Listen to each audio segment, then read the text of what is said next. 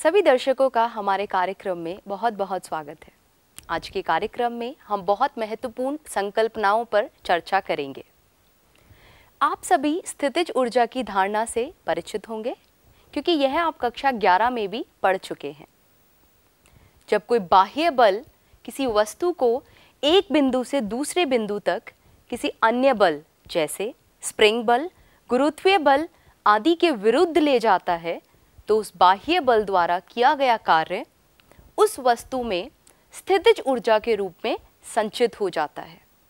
पिछले अध्याय में हमने विद्युत क्षेत्र के विषय में विस्तार से चर्चा की थी। यहाँ हम विद्युत क्षेत्र के अभिलाक्षणिक गुण को जानेंगे और उसे परिभाषित भी करेंगे। हम वैद्युत द्विध्रुव के कारण अलग अलग बिंदुओं पर विभव भी ज्ञात करेंगे तथा यह भी देखेंगे कि यह आर के साथ कैसे परिवर्तित होता है। आवेशों के निकाय के कारण विभव का चिन्ह कैसा होगा? यदि आवेश धनात्मक है या फिर ऋणात्मक है? इन सभी प्रश्नों के उत्तर ढूँढने की कोशिश करते हैं आज के कार्यक्रम की मदद से। आइए अब शुरू करते हैं।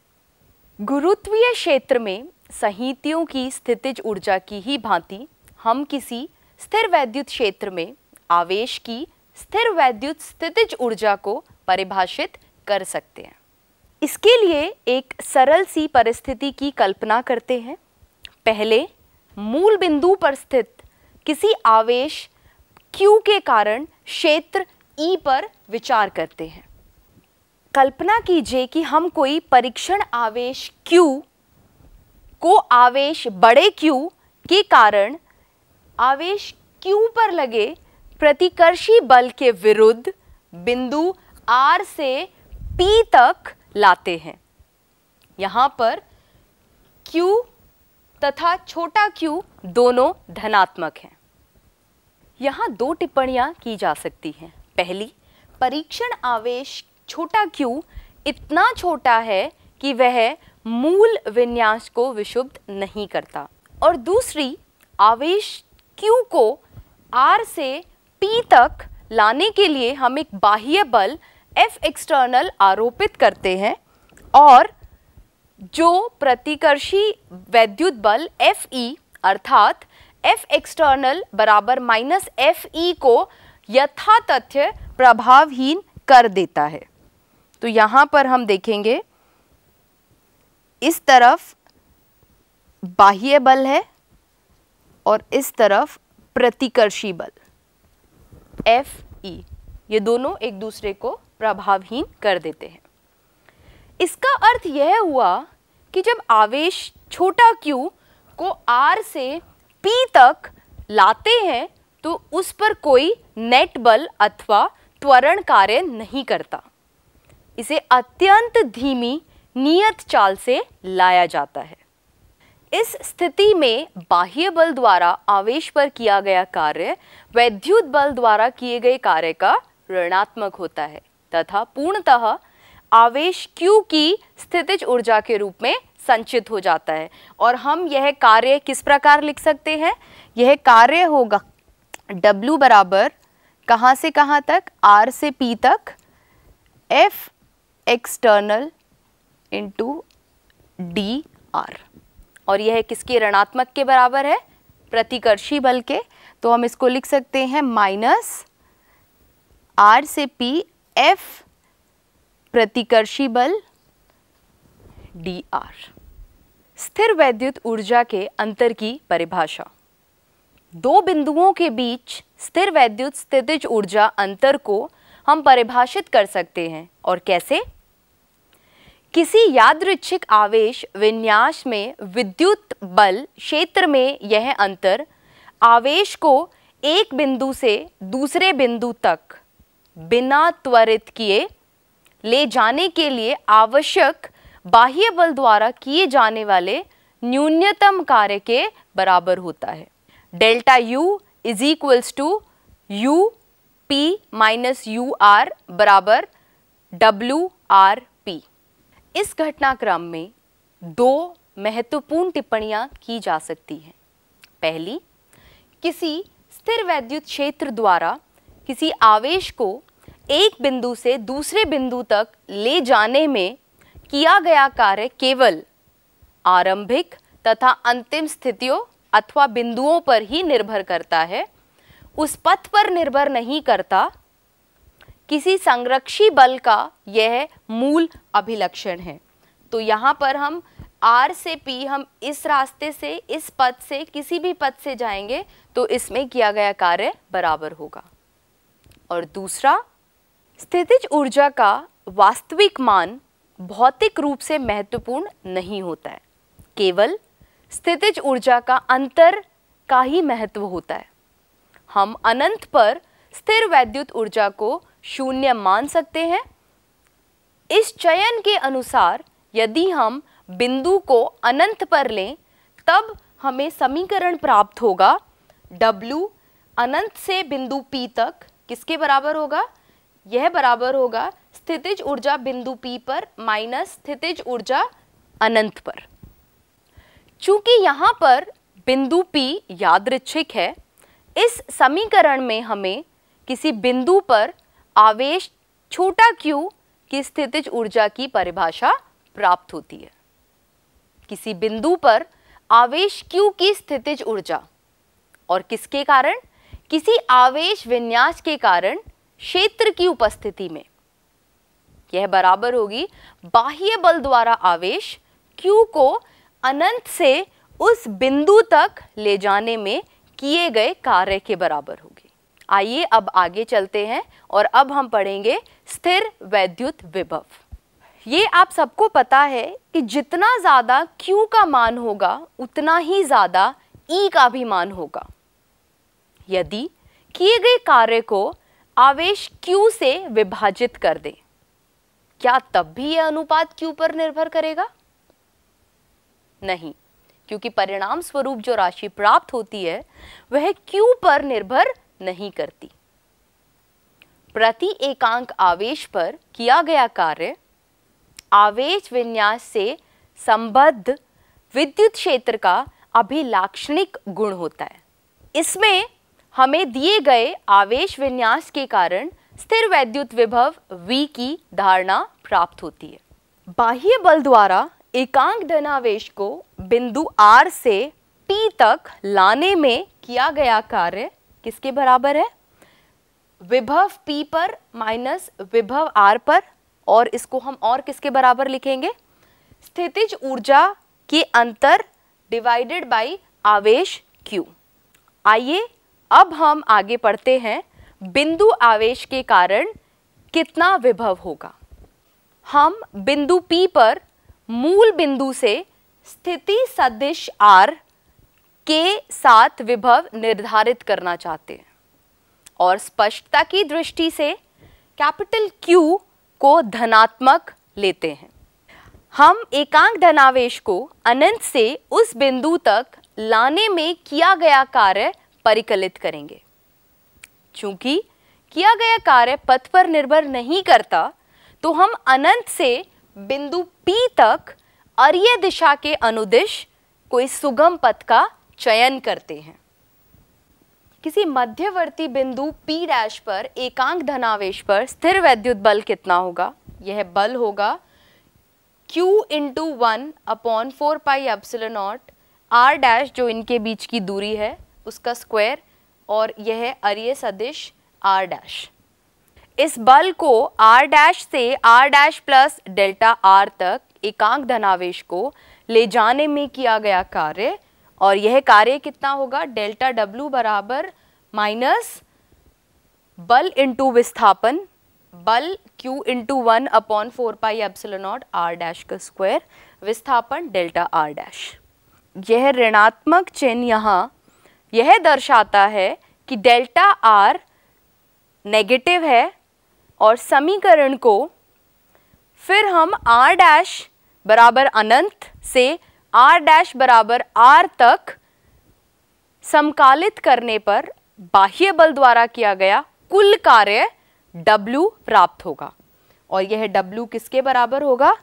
W बराबर माइनस अनंत से R तक Q upon four pi epsilon nought into D R dash समकालित करने पर यह होगा Q upon four pi epsilon nought into R परिभाषा के अनुसार यह आवेश Q के कारण बिंदु P पर विभव है, अतः यह V बराबर कार्य के होगा और Q upon four pi epsilon nought into R यह समीकरण आवेश Q के किसी भी चिन्ह के लिए सत्य है।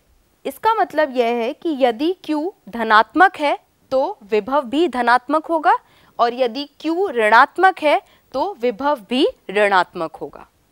आइए, अब हम देखते हैं विभव V और वैद्युत क्षेत्र E का दूरी r के साथ परिवर्तन। इस चित्र में हम विभव तथा क्षेत्र का परिवर्तन दूरी r के साथ देख रहे हैं।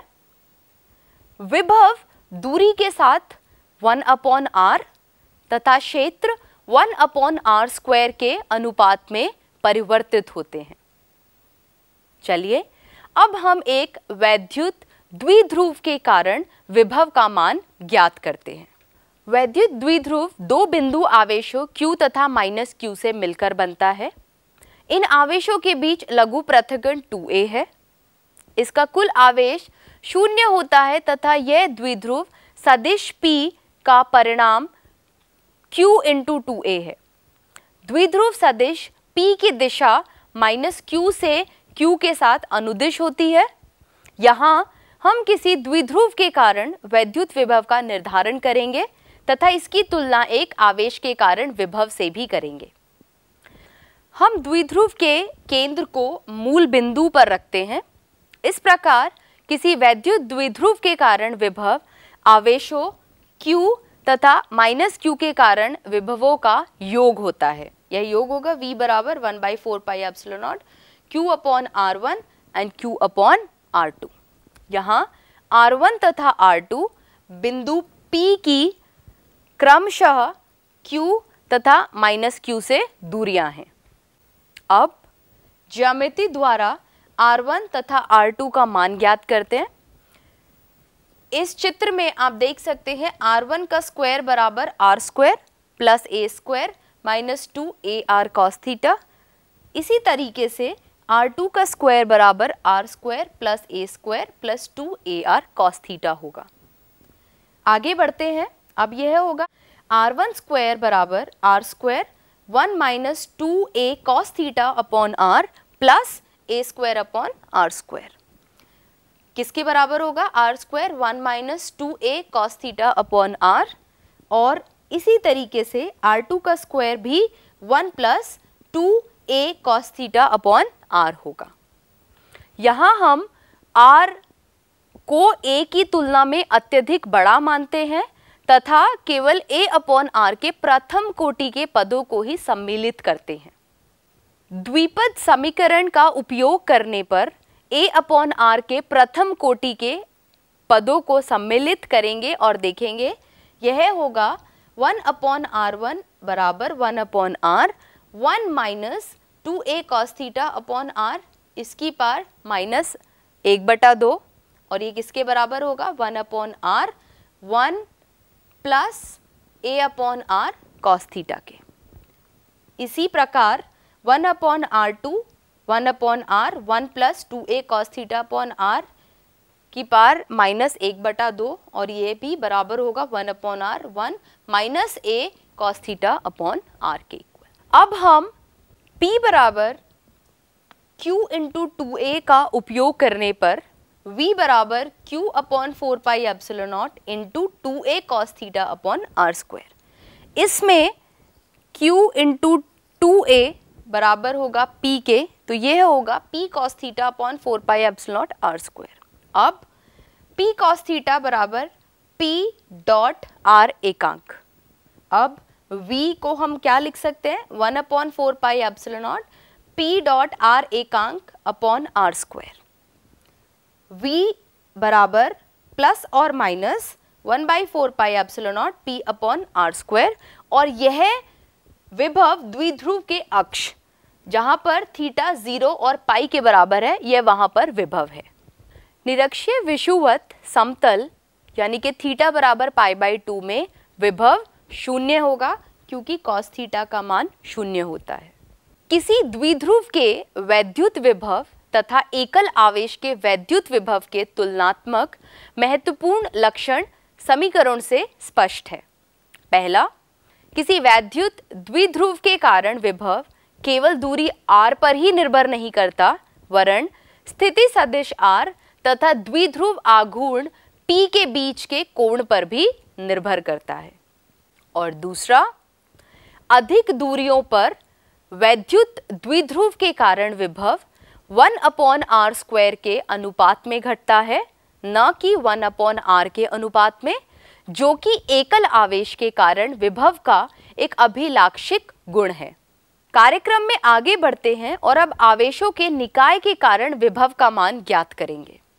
किसी आवेशों Q1, Q2, Q3, Qn के ऐसे निकाय पर विचार करते हैं जिनके मूल बिंदु के सापेक्ष स्थिति सदिश क्रमशः R1, R2 और Rn तक हैं। यह हम दिए गए चित्र में भी देख सकते हैं। अब हम यह देखते हैं कि बिंदु P पर आवेश Q1 के कारण कितना विभव होगा। तो यह विभव होगा V1 बराबर one upon four pi epsilon nought Q one और बिंदु P के बीच में दूरी R1P इसी प्रकार V2 इस आवेश के कारण बिंदु P पर विभव, यह होगा one by four pi epsilon nought Q two upon R two P इसी प्रकार V3 भी हम लिख सकते हैं। V3 बराबर one by four pi epsilon nought आवेश Q3 और बिंदु P के बीच की दूरी R3P अध्यारोपण के अनुसार समस्त आवेश विन्यास के कारण बिंदु P पर विभव विन्यास के व्यष्टिगत आवेशों के विभव के बीजगणितीय योग के बराबर होता है। और यह बीजगणितीय योग कितना होगा? V बराबर V one plus V plus इसी प्रकार एन तक का विभव का योग। इसको हम आगे लिखेंगे। V बराबर one by four pi epsilon nought. V one का मान, यहाँ से q1 one upon R one P क्योंकि हम one upon four pi epsilon nought बाहर लिख चुके हैं। Plus q2 two upon R two P और इसी प्रकार योग करते हुए Q N upon R N P तक हम लिख सकते हैं। इतना सीखने के बाद चलिए, अब हम एक प्रश्न को हल करने का प्रयास करते हैं। प्रश्न है three into ten raise to the power minus eight coulomb तथा minus two into ten raise to the power minus eight coulomb के दो आवेश एक दूसरे से पंद्रह सेंटीमीटर की दूरी पर रखे हैं। इन दोनों आवेशों को मिलाने वाली रेखा के किस बिंदु पर वैद्युत विभव शून्य है और इसको हल करने के लिए आप अनंत पर वैद्युत विभव शून्य लीजिए। आइए इसे साथ मिलकर हल करते हैं। मान लीजिए x अक्ष पर वह वांछित बिंदु P है, जहाँ वैद्युत विभव शून्य है। यदि बिंदु P का x निर्देशांक x है तो स्पष्ट रूप से x धनात्मक होना चाहिए, और x यदि ऋणात्मक है तो यह संभव नहीं हो सकता कि दोनों आवेशों के कारण वैद्युत विभव जुड़कर शून्य हो जाए। यदि x मूल बिंदु O तथा ए के बीच कहीं स्थित है तो विभव बराबर one by four pi epsilon nought three into ten raise power minus eight upon X into ten raise power minus two minus two into ten raise power minus eight upon fifteen minus X into ten raise power minus two minus two हमने इसलिए लिया है क्योंकि दूरी centimetre में दी गई है। इस विभव को शून्य के बराबर रखते हैं और हम देखते हैं कि x का मान 9 सेंटीमीटर है। यदि बिंदु x विस्तारित रेखा ओ ए पर है तो वांछित शर्त के अनुसार 3 upon X minus two upon X minus fifteen और इसको हम शून्य के बराबर रखेंगे तो x का मान कितना होगा? X बराबर 45 सेंटीमीटर इस प्रकार धनावेश से 9 सेंटीमीटर तथा 45 सेंटीमीटर दूर, ऋणावेश की ओर वैद्युत विभव शून्य है।